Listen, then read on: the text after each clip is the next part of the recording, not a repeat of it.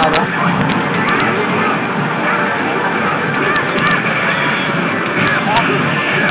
Đến đầu chơi Lo chăn được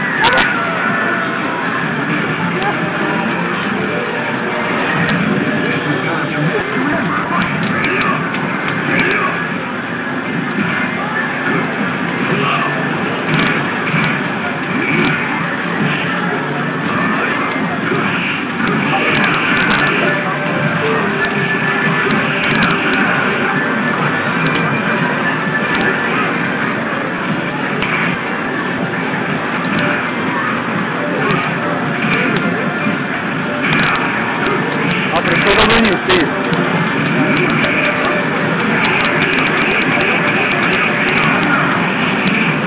Yerine beş yavrusu var.